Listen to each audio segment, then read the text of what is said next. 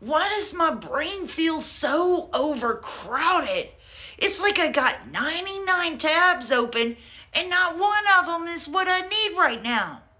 Oh dear, another one with low GABA, the body's natural chill pill. Without enough of it, the brain can't shut down all of the noise. Most people know GABA as the chemical that helps us calm down and rest, and that's true. But here's the deeper level GABA is also your brain's filter. It keeps glutamate, your brain's glue, from sticking everything down. Think of it as a strainer. All of the water drains away and you get to keep the pasta. Without GABA, all of the junk just clogs up.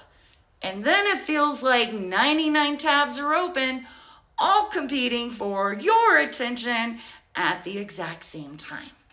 When GABA is balanced, you can relax, focus on what matters, and let go of what's irrelevant. But when trauma lowers GABA, you get racing thoughts, anxiety, insomnia, and overwhelm. Everything feels important because nothing is getting filtered.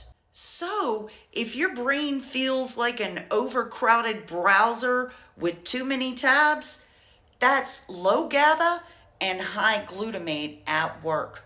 Tomorrow, we'll meet serotonin, the fertilizer that helps the hippocampus grow new cells and plant healthier memories.